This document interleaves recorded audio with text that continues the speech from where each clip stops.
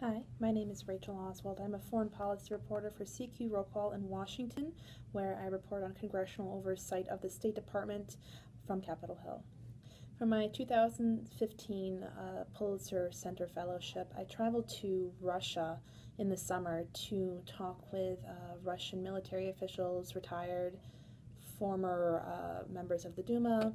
and a number of scientists about the state of nuclear arms control, nonproliferation, and nuclear security.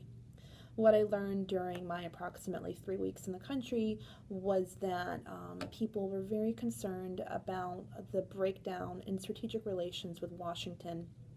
nuclear cooperation between Russia and Washington had been one of the um, most positive outcomes um, following the collapse of the Soviet Union when Congress approved billions of dollars in financial assistance to Russia to help it secure um, much of the large stocks of enriched uranium, uranium and plutonium that were vulnerable.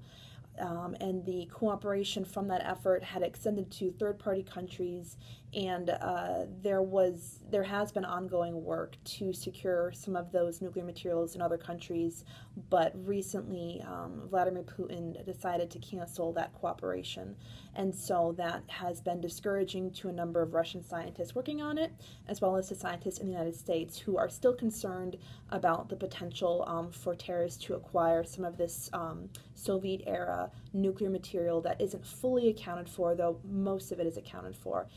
Um, one thing that I learned that I found troubling was concern about um, uh, whether Russia would come forward um, through through official channels or backdoor channels to confide in U.S. officials if it learned that any nuclear material had gone missing. Uh, the Russian economy is in a very bad state now, and um, I think that's going to continue to get worse. Um, all indicators point so. Um, there's been concern that um, amid that, that potential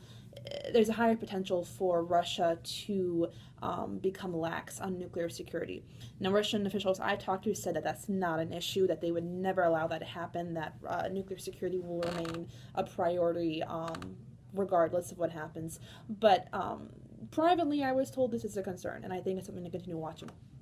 On the other uh, element um, on arms control uh, and uh, nuclear um, communication, um, I talked to a number of officials who said they were concerned about the future of a number of uh, treaties with the United States, including the Intermediate Range Nuclear Forces Treaty, the New START Accord, and a potential successor to the New START Accord when it expires in 2021.